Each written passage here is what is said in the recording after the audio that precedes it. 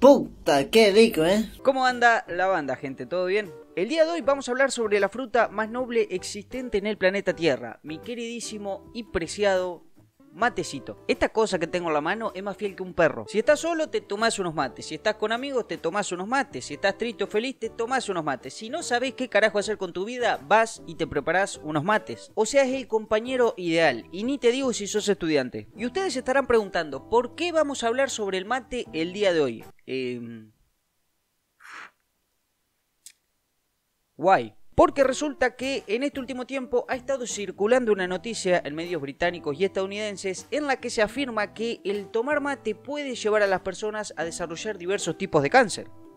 Ojo. Y acá discúlpenme, pero me va a salir lo criollo de adentro. Y es que, ¿con qué derecho los británicos osan criticar nuestro sagrado mate? Es como que yo vaya y le diga a un español que deje de comer paella porque se va a quedar ciego. Eh, es un delirio. Pero bueno, está bien. Eh, ya vamos a hablar bien de eso. Ustedes por el momento ya conocen el ritual, se lo saben de memoria. Prepárense hoy más que nunca un matecito o bueno, eh, un cafecito, lo que sea de su agrado. Pónganse cómodos y presten muchísima atención porque hoy en este canal hablamos del mate. Primero que nada vamos a aclarar por si alguno anda medio perdido. Eh, ¿Qué es el mate? Simple y llanamente el mate es... Eh, es esto. Ya está. Normalmente llamamos mate a la bebida, pero en sí el mate es este recipiente que también se lo conoce como porongo, eh, no poronga, porongo. Eh, me, hizo, acordar el chiste ese de ¿por quién lloró hongo? Poronga.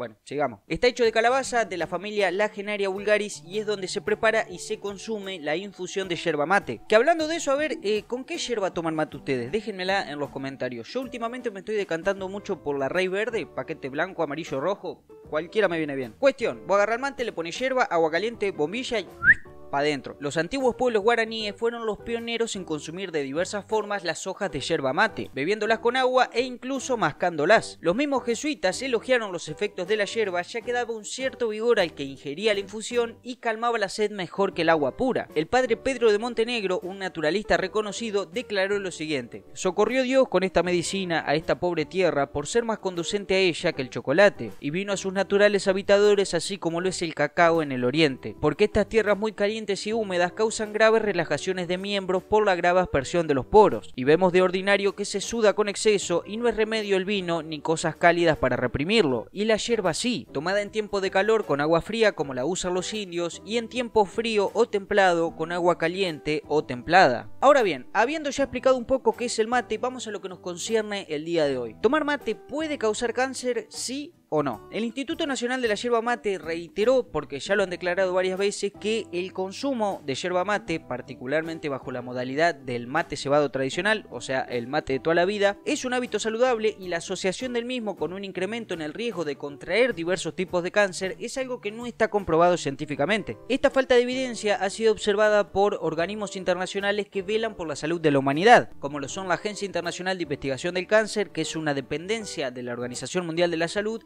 y la Agencia Europea del Medicamento. Es más, ya en el año 2016, la IARC había declarado al mate como no cancerígeno para los humanos. Particularmente, la IARC se dedica a evaluar agentes químicos, físicos, actividades laborales, entre otras cosas, mediante una exhaustiva revisión de toda la información científica disponible sobre el agente de estudio en busca de evidencias que lo relacionen con el desarrollo del cáncer. En el caso del mate, tanto la AM como la IARC declaran en sus documentos eh, Drinking Coffee, Mate a Very Hot, Beberajes, Matefolium, impresionante el inglés, eh, que no hay evidencia científica suficiente que demuestre el vínculo entre el consumo de esta infusión y el posterior desarrollo de neoplasias, o sea, cáncer. La supuesta relación entre el consumo de infusiones preparadas con yerba mate y el aumento en el riesgo de contraer ciertos tipos de cáncer no es para nada nueva, y hace poco volvió a resurgir después de que en varios medios nacionales se replicara una nota periodística que había aparecido en el periódico británico The Sun. Dicha nota menciona a dos agentes asociados directamente con el consumo de mate como mecanismos responsables. Primero que nada, la presencia de hidrocarburos aromáticos policíclicos en la infusión y segundo, la temperatura del consumo de la misma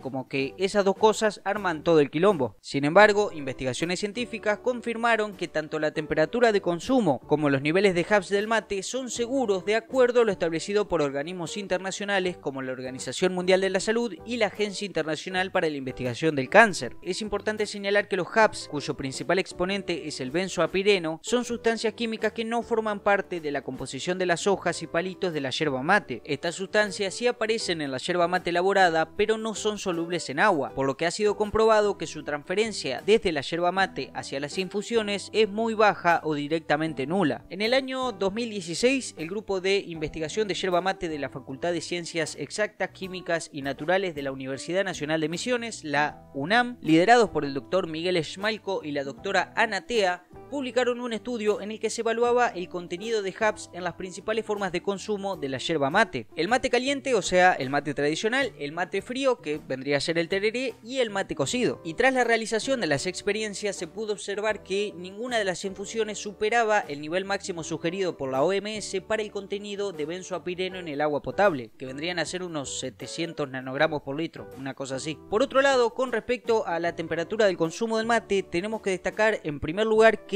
no es lo mismo la temperatura a la que se calienta el agua para tomar el mate que la temperatura con la que la bebida llega a la boca. La Agencia Internacional de Investigación del Cáncer sostiene que la exposición de las células a temperaturas mayores a los 65 grados puede ser perjudicial para la salud. En ese sentido, un estudio realizado por los investigadores de UNAM reveló que la temperatura del mate, cebado tradicionalmente, al llegar a la boca nunca supera los 58 grados centígrados. Para hacer este experimento se diseñó una bombilla especial con tres sensores de temperatura. Uno estaba en el filtro, el otro estaba en el pico, que es donde tiene contacto con la boca, y el tercero era uno externo que era capaz de medir la temperatura en el seno del mate. El agua del cebado cuando entra en contacto con la hierba pierde muchísima temperatura y cuando nosotros succionamos pierde todavía más. Los investigadores de este estudio explicaron que se calentó el agua para tomar el mate a distintas temperaturas de entre 70 y 90 grados centígrados, pero que cuando el agua llegaba a la boca nunca superaba los 58 grados. Y en contraste a todo esto, con evidencia científica que revela los efectos benéficos de la yerba mate en la salud humana, como es el caso de un trabajo realizado por el Centro de Oncología Molecular y Translacional de la Universidad Nacional de Quilmes, que demostró en pruebas de laboratorio los efectos quimiopreventivos y antitumorales de infusiones preparadas con yerba mate en el cáncer de colon y cáncer de mama. Habiendo dicho ya todo esto, podemos concluir y afirmar que tomar mate es seguro y saludable, ya que los dos agentes mencionados, que son los HAPS y la temperatura alta, quedan totalmente descartados. Y por si esto fuera poco, también les comento que todos los beneficios que tiene el tomar mate para nuestra salud están recopilados en más de 250 trabajos, los cuales conforman la base de datos sobre yerba mate y salud, algo que me parece espectacular y que podríamos tratar más adelante en el canal si es que veo que les interesa. Así que bueno gente, ustedes sigan tomando mate tranquilos que no pasa nada. Está todo bien. Espero de corazón que les haya gustado el video, que hayan aprendido algo o que por lo menos se entretuvieran un rato. No se olviden, y esto es mucho muy importante, de dejar un me gusta, suscríbanse, compartan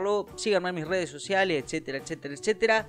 Cuídense mucho gente, pórtense bien y nos estamos viendo como no en el próximo video. Chau chau.